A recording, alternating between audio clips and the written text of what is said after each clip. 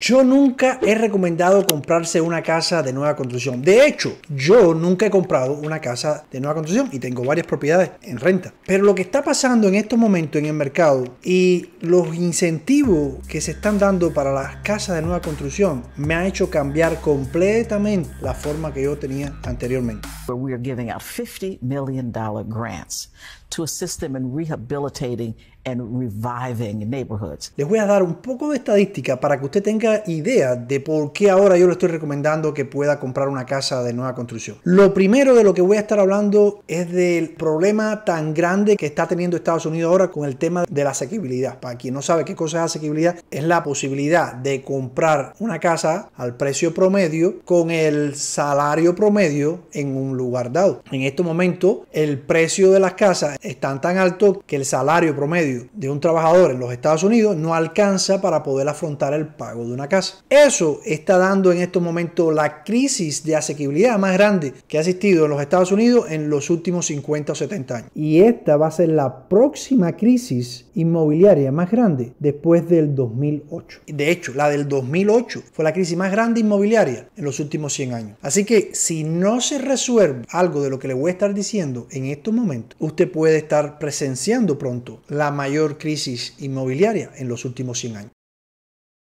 Y si te gustan este tipo de videos, asegúrate de darle un like y suscribirte para que YouTube te pueda recomendar estos videos y así usted pueda escuchar al final de mi video su comentario y cuál fue la respuesta que yo le dé a usted. Ah, pero no me ha dado like, dame like y si te suscribes, qué bueno, gracias. En estos momentos las nuevas constructoras no están construyendo la suficiente cantidad de casas que se necesitan para abastecer la cantidad de personas que necesitan rentar o comprar una casa. Y esto es uno de los motivos por los cuales los precios de las casas han subido exponencialmente en los últimos años por la falta de inventario de nuevas construcciones. En los últimos 10 años se han construido la mitad de las casas que se construyeron en los 10 años antes de estas estadísticas. Para que tenga una idea, en los últimos 50, 60 años, el promedio de las nuevas construcciones en un periodo de 10 años eran aproximadamente de 10 mil a 12 mil millones. En el periodo del 2010 al 2020 solamente se construyeron alrededor de 6 millones de nuevas construcciones y del 2020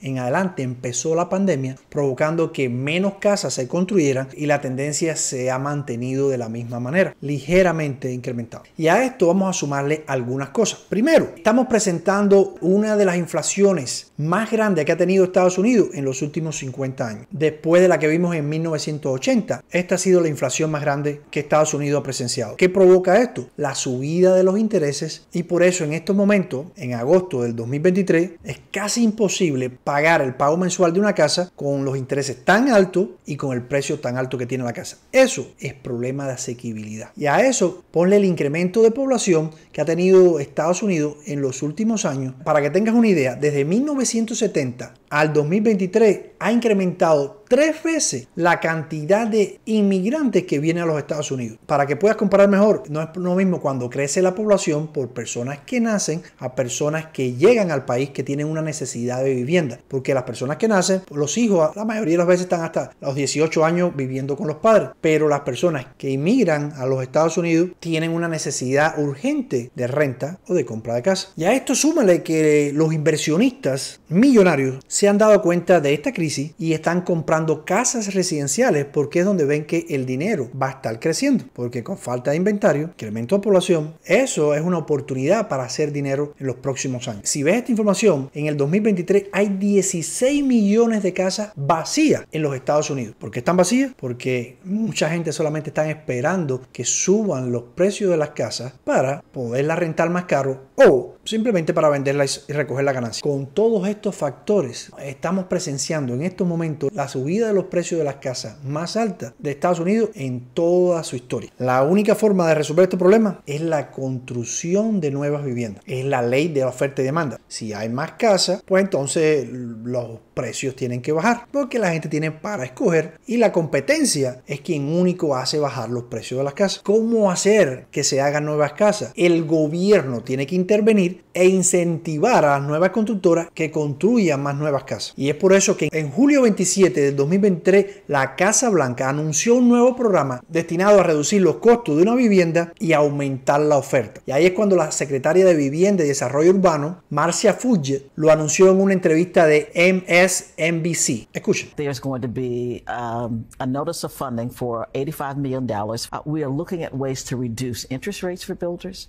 We have resources to maintain and preserve the housing we have, we are finding ways to build more housing. The only way to get the cost down is to build more housing. Esto es lo mismo que yo he estado hablando en mis otros videos donde te explico más sobre de cómo se está formando la crisis de asequibilidad y entonces, al parecer, la Casa Blanca me está escuchando. Conclusiones. La única forma que yo compraría casas de nuevas constructoras es si los incentivos que ofrecen son tan buenos que comparándolo con una casa que previamente haya vivido una persona me ponga el pago más bajo, porque por supuesto si me pone el pago más bajo y es una nueva construcción, bueno, entonces sí vale la pena. Casi siempre cuando usted se compra una casa de nueva construcción, el pago es mucho más alto que una casa resale. Lo único que yo le recomiendo es que usted vaya con un realtor de confianza que tenga experiencia con nuevas constructoras para que usted no caiga en las trampas de los agentes de venta que trabajan para las constructoras. Y si no tiene un realto con esa experiencia, le voy a dejar mi número aquí en pantalla porque la consulta es completamente gratis y sin ningún compromiso. Recuerda que siempre el vendedor es quien nos paga a nosotros. Usted no nos tiene que pagar ni un centavo a la hora de representarlo. Bueno, y para aquellas personas que llegaron hasta el final de este video para ver si yo les respondí las preguntas que hicieron en otros videos anteriormente, llegó esa hora. Bueno, aquí tengo un comentario de Carlos Rodríguez. Dice, buenas tardes Juan Carlos. En el Mortgage Calculero, ¿cómo calculas el pago extra que debes hacer para pagar la casa en menos años? Gracias, saludos. Él está preguntando eso porque en este video de cuánto es el pago mensual de una casa en los Estados Unidos, explico cómo se utiliza una tabla que nosotros creamos gratuita para que usted pueda, según el precio, sepa cuánto es que tiene que pagar en el pago mensual. Pero aparte de eso, esa tabla tiene como bonus un cálculo que le dice si usted paga cierta cantidad adicional al principal, en cuánto tiempo o cuántos años usted se viene a estar ahorrando y cuánto más rápido puede pagar su casa. De hecho, Carlos, pronto voy a estar haciendo otra tabla que específicamente va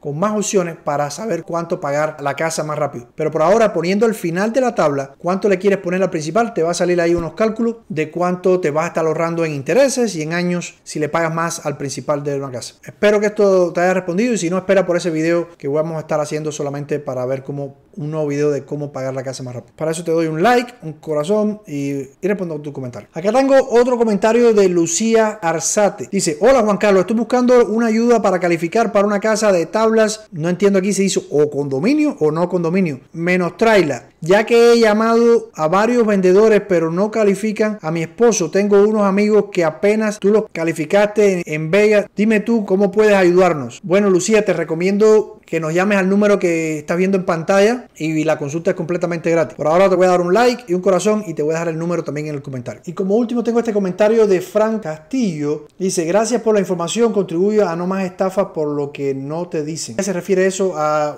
uno de los dos videos que hice de la desventaja de comprar casas con paneles solares, cosa que usted no sabe cuando está queriendo ponerle paneles solares a su casa, así que se los recomiendo grandemente. La verdad que mucha gente se sorprendieron con toda la información que les puse ahí con la experiencia que tienen mis clientes, así que se los recomiendo que lo vean. Bueno, eso es todo por hoy. Mi nombre es Juan Carlos Carrera, soy Real Estate Ingeniero aquí en Las Vegas. Y bueno, asegúrate de darle like y suscribirte para que veas información no solamente de Las Vegas, sino de todo Estados Unidos. Y de, si usted quiere emprender y hacer dinero aquí en los Estados Unidos, este es el canal correcto. Así que nos vemos en el próximo video. Valeu!